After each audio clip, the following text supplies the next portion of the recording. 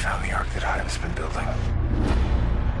I cannot get in touch with Thea. It's okay, she got a hold of me. You know where she is? Hive has her.